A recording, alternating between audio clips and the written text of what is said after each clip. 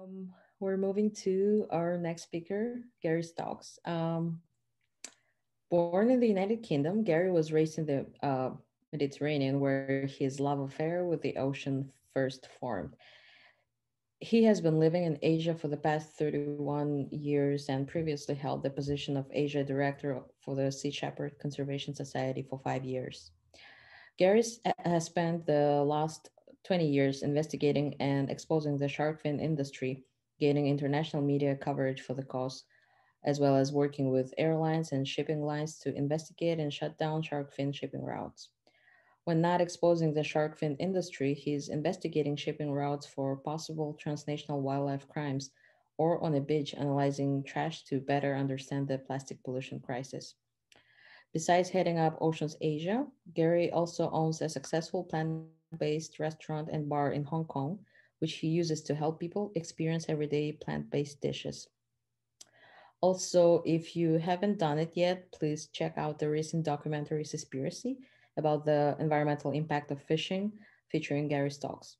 Um, Gary's topic for today's webinar is veganism and the fate of our oceans. Um, we are excited to learn from you. Hi there. Well, thanks for having me. Um, can you hear me clear enough? Because yeah. uh, we're just on the outside bit here. Let me just uh, switch over the screen and just uh, make sure it all works. So, how are we going there?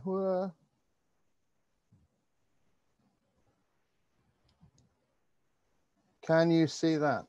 Is that yep. clear enough? Okay. All right. so yes, um, a, a, very hot topic at the moment, especially with the release on uh, Netflix of uh, the new movie Seaspiracy which is causing a lot of controversy around the world uh, in all forms, um, from expected sources and and not so. Um, but yeah, let's just uh, crack into this and um, I'll try to explain where I see and and where you know I, am hoping we're going to see the uh, the future of mankind heading. Um, but first of all, I just want to say I'm not a preachy vegan. Um, it's more a question of when I get asked about it, I uh, like to share my knowledge. So obviously my background is with the oceans. So uh, let's focus on those. So at the moment, and as Till has already spoken before me and, and already given a highlight on a lot of this, I'll just whisk through these slides. But uh, yeah, so currently 90% of the world's global fisheries are fully exploited or overexploited, depleted, or in a state of collapse. Now, you know, this is from the FAO, um, and you know, this is indisputable. I've been out on the high sea. I have seen a lot of this. A lot of it does actually go on out of sight of land. So obviously, you know, people just don't really see it. They don't get it. Um, and as Till quite rightfully pointed out, illegal fishing or IUU fishing is one of the biggest problems uh, with one in five fish that ends up in the supermarkets or uh, you know in the marketplace being illegally caught. And um, as he sort of went over, but this is where we're looking at illegal fishing. We're not looking at these sort of. It's not just pirate vessels. Um, this is just anybody who could be fishing without a license, exceeding quotas, targeting undersized fish, targeting endangered species, using banned gear, and all these things, repacking it, using it as mislabeling, and transshipping at sea. And that's one of the focuses that I spend a lot of time on. Um, a piece of software called, uh, a website called Marine Traffic. And what we do is we actually track uh, fishing fleets and also more importantly, the reefers. Know, a reefer is, I will show you what a reefer looks like. This is a reefer. This is a refrigerated cargo ship. And this is actually how most of these fishing fleets operate. They operate out of sight of land. They're away from home for four, five, six months at a time, maybe even longer. Some vessels have been known to stay at sea for five to six years. And these reefer vessels basically go out, they rendezvous with the fleet on the high seas, they offload the catch onto the ship, and the ship replenishes these uh, these industrial fishing vessels with fuel, with food, uh, with change of crew uh, for those that are not, uh, unfortunately, they're under slavery conditions. Um, but because of these reefers, they also do promote the whole slavery at sea, where people are actually held hostage and they cannot escape because the ships never come home. They never come to a port or close to land.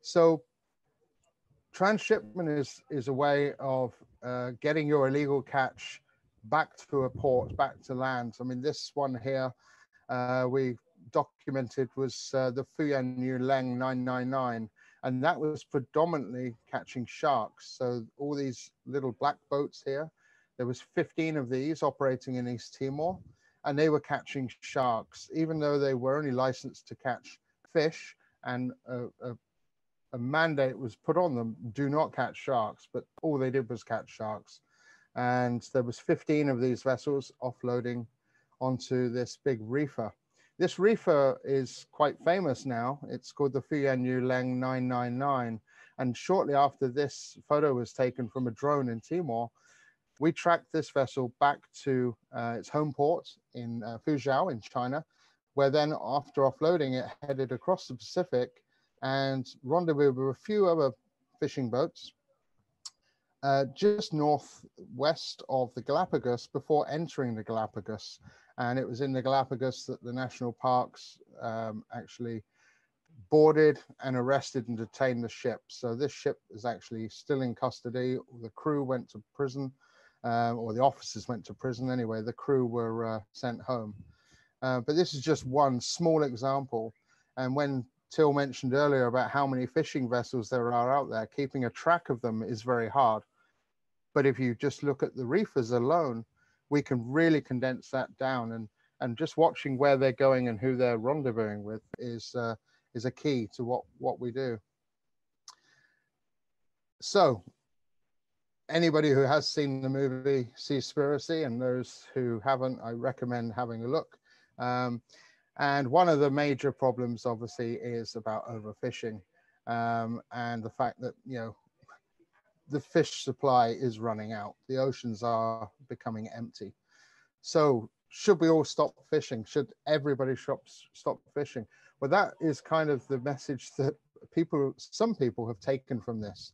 Um, but unfortunately, it's not the people on the left here uh, are artisanal fishermen coastal communities. They've been fishing for centuries, if not longer. They're not the problem. They have been catching fish all their lives. They catch enough to eat, to survive, and everything else. The problem is the industrialized fishing vessels and fleets, which are on the on the right there. Uh, these vessels are from developed countries. They are subsidized heavily by taxpayers' dollars. They're coming largely from the EU. Uh, we're getting them from China, from Japan, Taiwan, um, and also the States and places like that. So we are getting these large industrial ships, and these are going into the waters of uh, these poorer nations and literally strip mining them of fish resources. And uh, that's that's kind of where the issue is. So the issue is we need to stop industrial scale commercial fishing, not the coastal artisanal fishers. And that was kind of where the movie Seaspiracy was targeting at is the consumers of these industrial scale commercial fishers. Uh, the consumers being largely in the West. Um, in Western society, obviously, we go to supermarkets and uh, they're just stocked to the brim with cheap fish. And those are coming from these large industrial scale commercial fishers. So, you know, where is all this fish going? Because, you know, they are catching, you know, millions and millions of tons. Well, of the annual catch, 34, or basically a third of the world's global catch of fish goes for animal feed. So that's 34.8 million tons was used, or 36% of all the fish caught was used for animal feed. Now that's feed to feed to another animal. Now these are fish that could have been eaten. Um, now, that animal feed is split up between 56% of it is being used for farmed fish, agriculture. Uh, we got 20% going to pigs, poultry, and others. So we're looking at over 12 million, 12.7 million tons are being used annually just on this. In Peru, for example, which creates 50% of the world's fish meal, um, yet half of its population are living in critical poverty positions. Uh, you know, they are starving, and yet we're catching all these fish, all these anchovy, and making it into fish meal and selling it to these developing nations to feed salmon and uh, tuna and, and things like that to fatten up higher quality, higher grade fish that fetch more money in the market. So rather than feed the world, fish are actually being taken and used to fatten up fish for the Western palate. I say the Western, but developed nations. And that's where the, the whole imbalance is, is coming into play. It takes three to five pounds to produce one pound of farm fish. Um, and we're, we're looking at that. This photo I took in the Mediterranean in Malta. This was a tuna pen for bluefin tuna, uh, Mediter Mediterranean Atlantic bluefin tuna, which fetch anywhere over a hundred thousand US dollars. Some fish have gone for in Japan. So these are highly prized fish. They are huge, uh, you know, two, three, four hundred pound fish and they they are very they have a very voracious appetite. So they have this net here and they they basically put one ton of bait fish which would be like anchovies sardines things in that just to fatten up. And this is every day one ton of bait fish just to feed this one cage which has got about about a thousand bluefin tuna in this one cage. So the the the numbers are just astounding what's even more astounding is that we are feeding fish to pigs. Now, have you ever seen a pig catch a fish? Because um, I certainly haven't. Um, these fish, uh, these pigs are photographed in Bimini and they actually live on a beach and they don't even catch fish. But we're feeding uh, two and a half million tons uh, of fish to, to feed pigs. This is how bizarre and twisted we've now become, is that we're actually taking wild fish and feeding it to animal livestock. Another one, everybody loves kittens, so I had to put a kitten in the in the picture. But cats, domestic cats, are, are, are basically using 2.4 million tons of fish for their domestic cat food. Now, I know we've grown up in a society where we, as a kid, I used to watch Tom and Jerry, and you always had Tom with a fish and everything else. But cats don't actually like water, so I don't know how they're going to catch the fish. Um, obviously, tigers and things that might be slightly different. But your domestic household cat, um, they would probably be likely eating, uh, you know, uh, rats or mice or sort of small vermin or small birds, not fish. But actually, we're now feeding them this much fish. Um, but to put it into comparison, the North Atlantic grey seal consumes 314,000 tons of fish. Now they are meant to eat fish, um, but this is how we are literally throwing ecosystems out of whack completely. Another one now, if for those who have seen the movie, there's a, a big thing on this sustainable labeling, and that's always been a bear bug with me as well. Um, a lot of talk, this this buzzword of sustainable seafood. Uh, it's a it's a myth um, it, if it could become possible, then that might be an option. But at the moment, there is no such thing as sustainable seafood. That's one of the things I would like to say. Um, that's my opinion from my research and things that I've been looking into. Um, but for example, this tuna, this bluefin tuna I photographed in Hong Kong at a food expo. It was heavily being promoted as sustainable from Friends of the Sea, and it was from the Southern Oceans. It was from Australia. And you only have to look at the IUCN Red List to see that it's actually critically endangered. So why or how are these organizations called Friends of the Sea or MSC or any of these other labels getting away with slapping this on, saying it's uh, sustainable, and yet it's still listed as critically endangered. Of all the bluefin tuna, the southern bluefin tuna is the most endangered. Um, so, you know, it, it really does throw the whole sustainable seafood um, into complete disarray. And um, yeah, where do we go?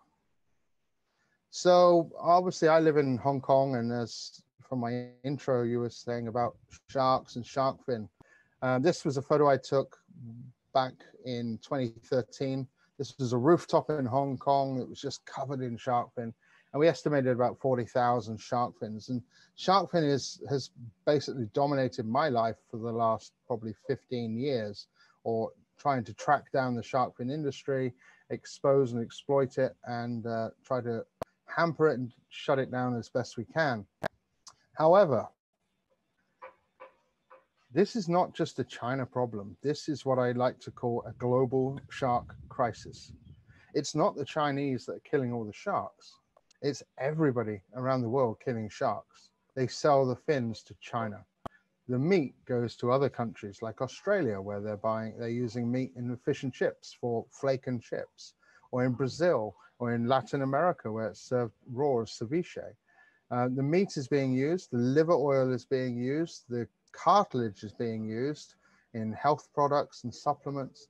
So this is a global shark problem. And one of the things that I do see a lot of is this racism that comes up into uh, into the whole environmental movement where people are, you know, they like to blame you know asian nations or african nations or poorer nations and and it's just completely wrong um, i get very defensive about china in a way when it comes to the shark fin issue yes they are creating the demand for the shark fin soup and that is bad period full stop however we are not just killing sharks for for the fins we're actually killing them for everything so we need to look on a global scale and not be pointing the finger at one person. Let's look at it, shut it down across the board.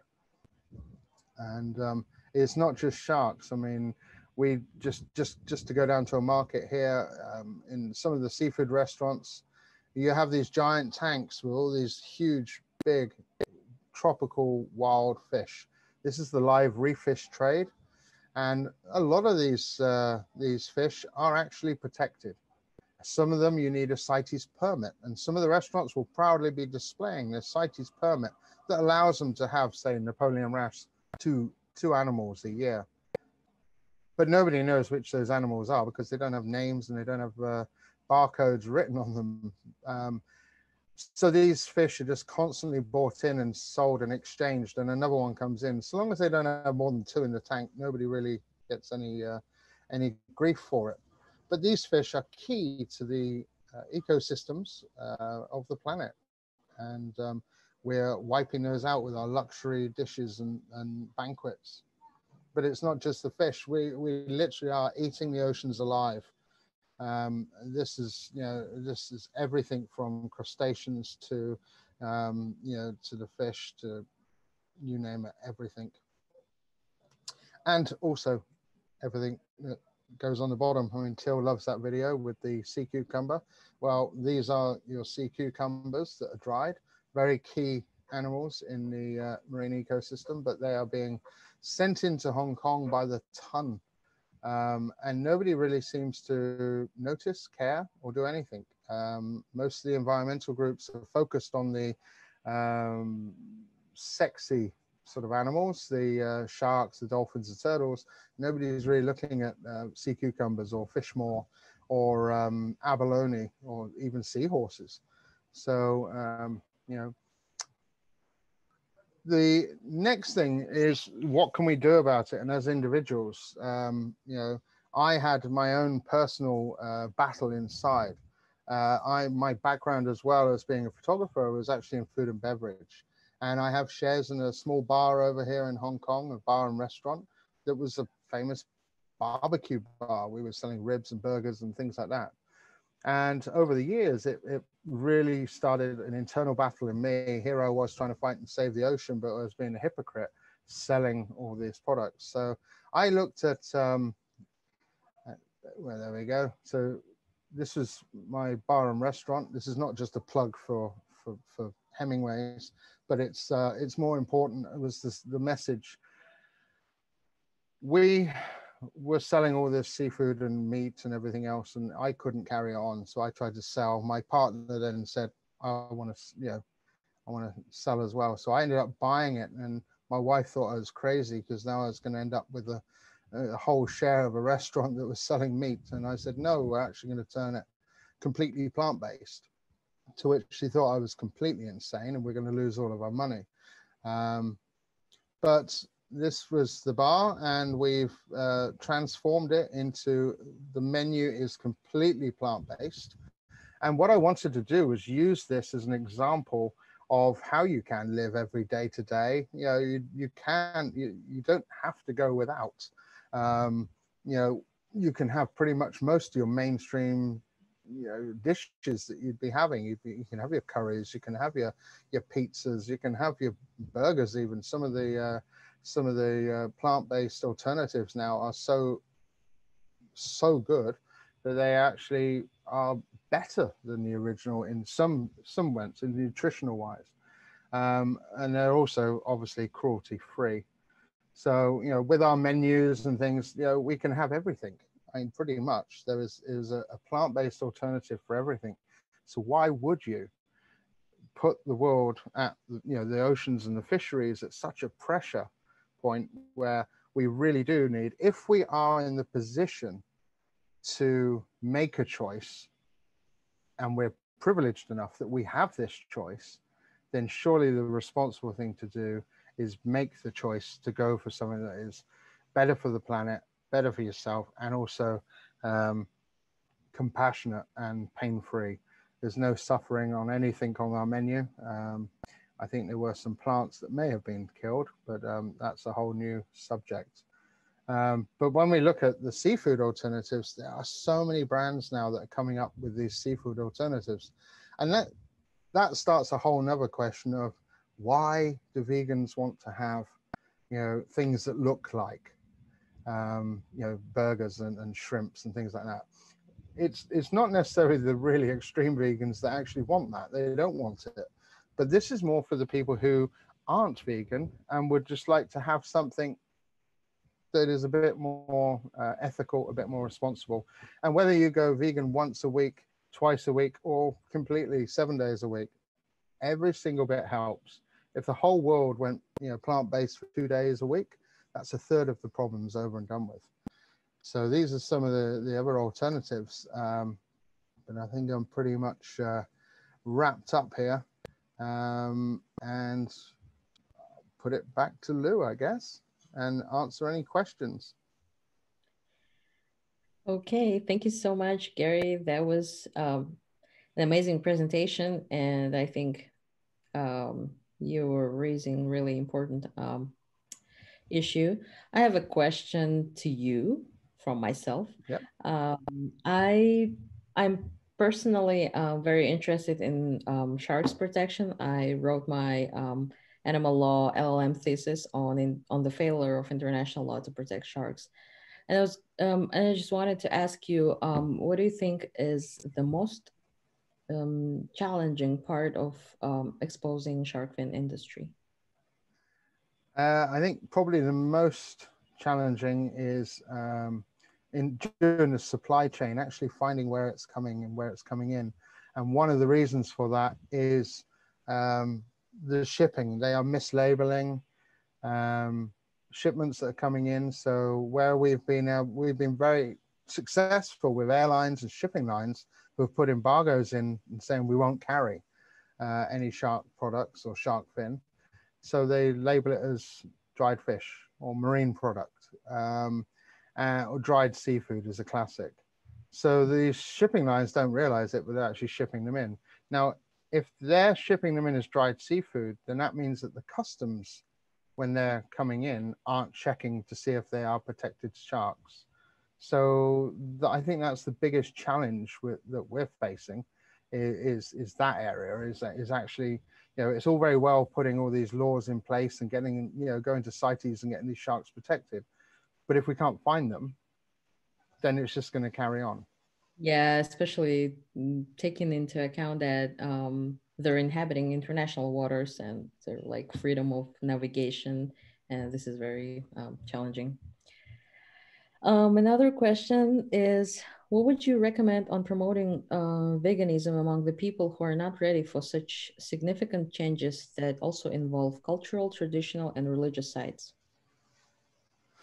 Um, well, I, I, as I said at the very beginning, I'm not a preachy vegan, so it's very much what would I recommend? Um, try to cut out as best you can even just one or one or two days a week, and then you know sort of look out to.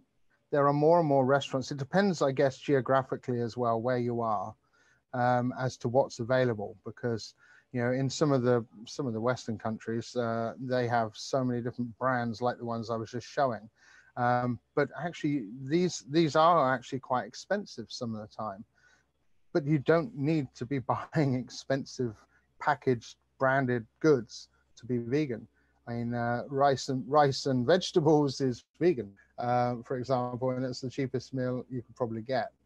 So it, it's it's and when we look at uh, religions and things, some of the best uh, vegan food I've had has been in Buddhist restaurants. Um, you know, they have been some of the mind most mind blowing meals I've had have been in vegan re- uh, uh, Buddhist restaurants both in China and also in Malaysia. So yeah, I agree with you. Um, as vegan, I don't think it's um, really expensive because, like, if you eat whole foods, it's um, not expensive. I guess some, maybe some like treats or junk food might be kind of pricey, but yeah. Um, the next question is: I want to know the attitude of Hong Kong people towards uh, veganism. Is that popular or not widely accepted by the public? Uh, veganism, plant-based movement is growing here as much as it is elsewhere. Um, the amount of vegetarians, I think it was in the recent survey, has like you know quadrupled in the past couple of years. Um, it really is coming mainstream now.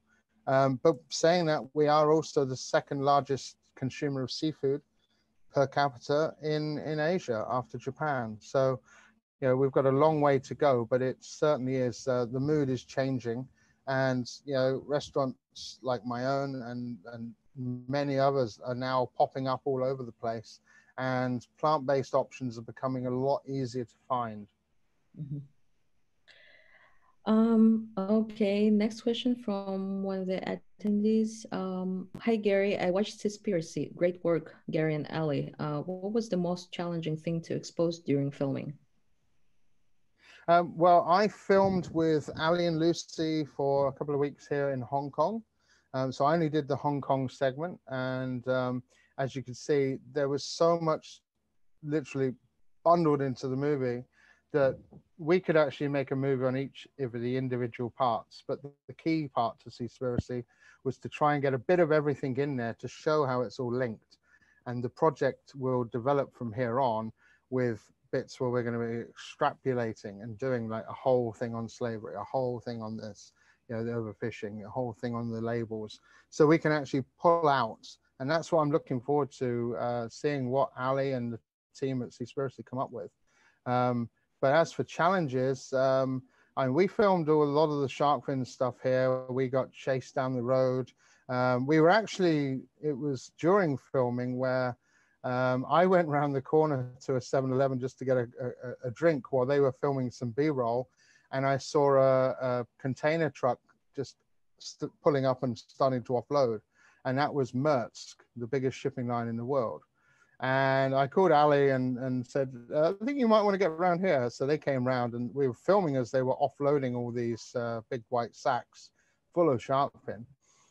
And that was when I told Ali, you know, this is Maersk, the biggest shipping line, and they were the first to put the ban in.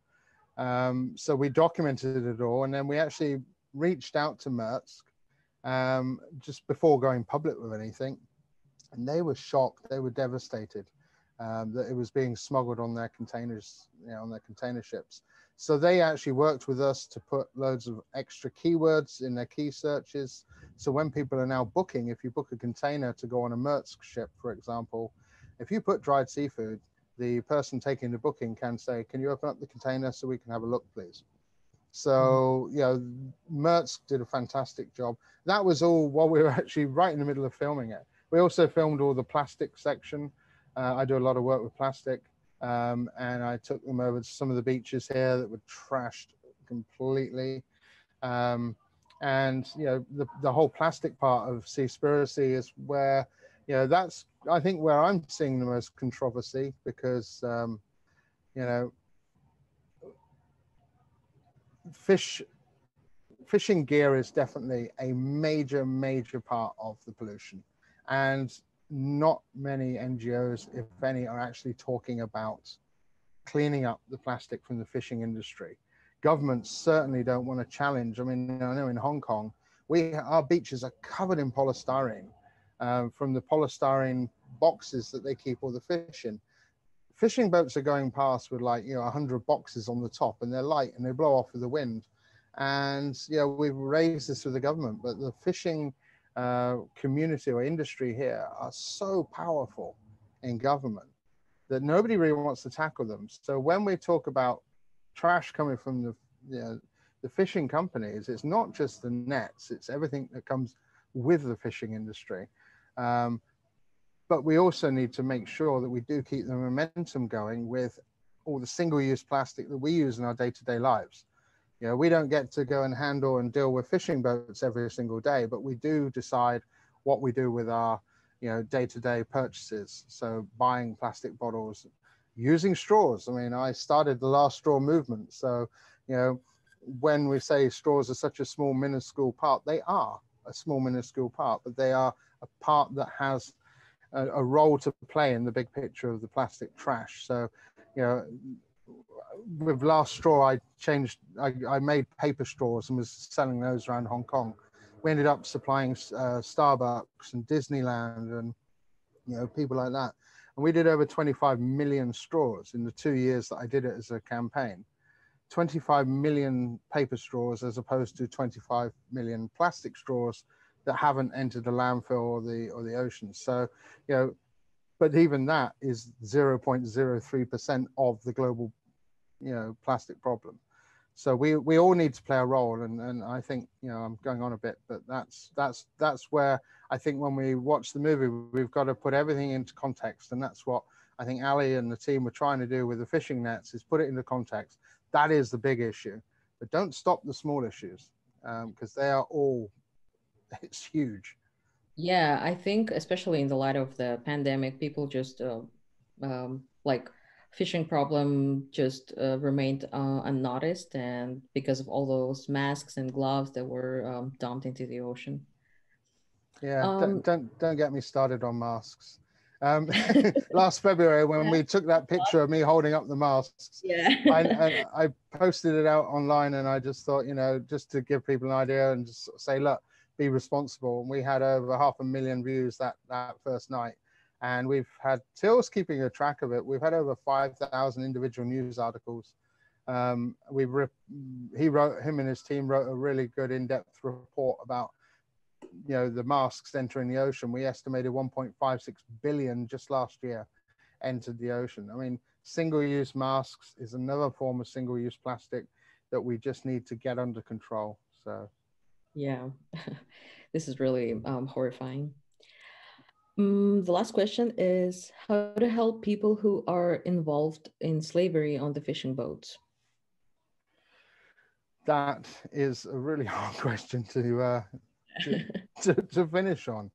Um, well, trying to avoid seafood would be one way completely because if we can reduce the demand, then there won't be as many boats going out. It would be one thing. I mean, that's a very small, naive, but off the cuff way of uh, looking at it. Um, better enforcement at ports, uh, better ways of, uh, you know, legislation and things like um, getting rid of um, transshipments, for example. stopping transshipments at sea would mean the vessels would have to come to port. If they had to come to port, then maybe we could put, you know, regulations in place where they had to report to harbor masters and things like that, where you'd be able to see if there were slaves on board. Um, but at the moment, they're going out to sea and they're staying out to sea five to ten years. So, and and even then, they're they're meeting up with other boats and putting the slaves on another boat, and then that boat comes in to port with a fresh crew. So there's you know it's it's a really really complex um, topic, and I can't really answer it in this. yeah, it is. Um, without without speculating, but I mean it, it's it's really sad. I know a couple of people, um, and I mean in the in the movie Seaspiracy, the uh, Filipino lady, uh, Gurley, um, I was involved in that case uh, when she was gunned down in her living room in front of her two children. Um, and that was shocking. I mean, that was just literally just brushed away and and everybody just carried on. This was a lady who was just doing her job. She was an observer and recording things as they were coming in the port. And she was very good at her job. And, um, know, that ended her life, sadly. Yeah. Um, that, that part of the documentary was really shocking to me. And I haven't heard about it, um, and I never even imagined that this kind of things are happening somewhere. This is just like makes me feel. This makes me feel like you can't trust anybody. It's yeah. Well, this this wasn't even slavery at sea. This was actually just at home in the Philippines. This was a lady who going to work at the at the uh, at the dock when it was coming in. The EU had put a yellow notice on the Philippines because of the amount of illegal fishing that was going on. So because of that, they put pressure on the Philippines to tighten up things. They had this, you know, these observers, and she was sadly one who was very good at her job. And uh, yeah, they they sadly took care of her, um, and she had two small boys that she left behind. So. Mm-hmm. Um, um, and that is all for questions. Thank you so much, Gary. Hey, uh, thanks for having me, Lou.